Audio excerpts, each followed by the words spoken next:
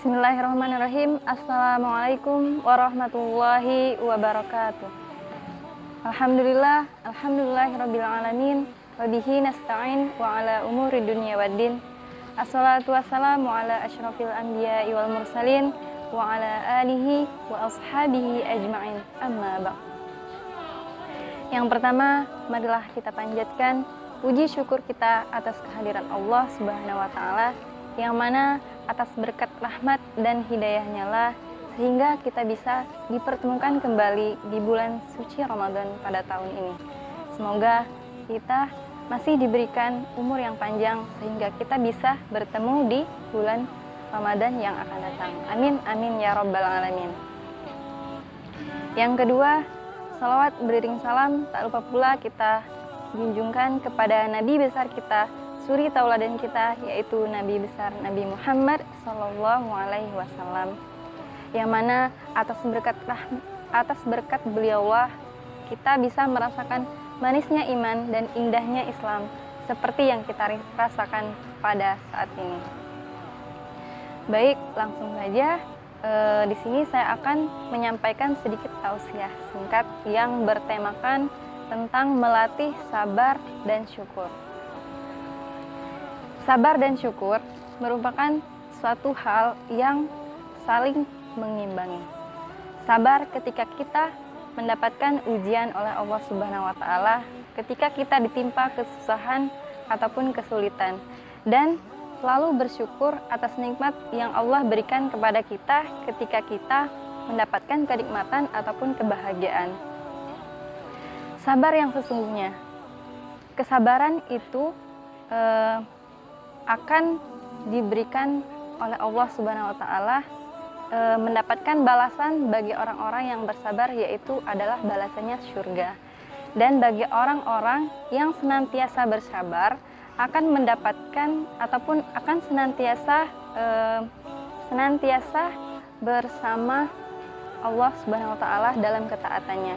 Sebagaimana firman Allah dalam Quran surah Al-Baqarah ayat 183 yang berbunyi أعوذ بالله من الشيطان الرجيم بسم الله الرحمن الرحيم يا أيها الذين آمنوا استعينوا بالصبر والصلاة إن الله مع الصابرين صدق الله العظيم صدق الله العظيم yang artinya hai orang-orang yang beriman minta pertolonganlah kepada Allah Subhanahu wa taala dengan sabar dan sholat sesungguhnya orang-orang e, sesungguhnya orang-orang yang bersabar akan senantiasa bersama Allah Subhanahu wa taala. Quran surah Al-Baqarah ayat 183.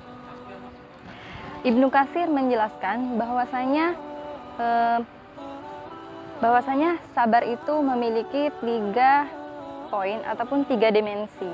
Yang pertama itu sabar ketika menghindari larangan dari Allah Subhanahu wa taala. Seperti kenapa kebanyakan kita e, sesuatu yang yang enak-enak itu dilarang. Karena itu ya, karena Allah senantiasa menguji kita untuk senantiasa bersabar. Yang poin yang kedua yaitu e, ibadah dalam hal ibadah dan ketaatan. Ya, kenapa kita diperintahkan e, untuk beribadah ketika kita dari sejak kecil dari usia tujuh tahun ya hingga uh, kita wafat ya. Di situlah kita diuji untuk senantiasa bersabar dalam hal ibadah dan ketaatan. Poin yang ketiga yaitu uh, tabah dalam menghadapi ujian. Ketika kita ditimpa musibah ataupun ketika kita menghadapi cobaan uh, yang menurut kita kita tidak mampu melakukannya. Tapi menurut Allah kita mampu untuk melakukannya. Maka kita harus senantiasa bersabar dalam melakukan uh, cobaan ataupun ujian yang diberikan oleh Allah Subhanahu wa taala. Kemudian yang kedua yaitu tentang syukur. Syukur itu berarti kita apa? Berarti kita menikmati ataupun e, berterima kasih.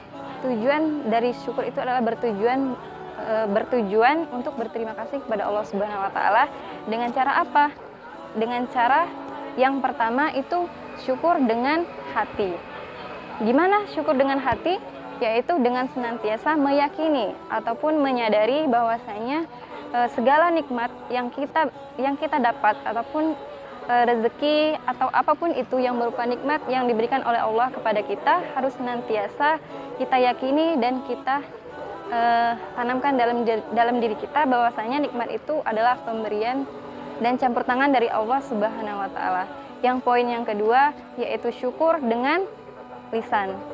Nah, syukur dengan lisan ini berupa salah satunya dengan mengucap alhamdulillah yang berarti segala puji hanya bagi Allah Subhanahu wa taala. Dan yang ketiga yaitu syukur dengan perbuatan. Syukur dengan perbuatan e, dengan cara apa? Dengan cara melakukan hal-hal yang dirido, yang diridhoi oleh Allah Subhanahu wa taala. Contohnya apa? Contohnya dengan melaksanakan ibadah dan membantu orang-orang yang sedang kesulitan dan lain sebagainya. Poin yang terakhir yaitu syukur dalam e, ketika diberi kenikmatan. Dengan cara apa? Bersyukur dengan e, kenikmatan yaitu dengan cara menjaga kesehatan tubuh kita sendiri. Mungkin itu saja yang bisa saya sampaikan. E, jadi dalam hal ini melatih sabar dan syukur itu harus seimbang. Ketika kita ditimpa masalah ataupun ujian, kita harus senantiasa bersabar dan kita harus senantiasa mensyukuri apa yang diberikan oleh Allah Subhanahu wa taala e, kepada kita e, yang berupa kenikmatan. Mungkin itu saja. Sekian dari saya. Akhirul kalam wallahu muwaffiq Wassalamualaikum warahmatullahi wabarakatuh.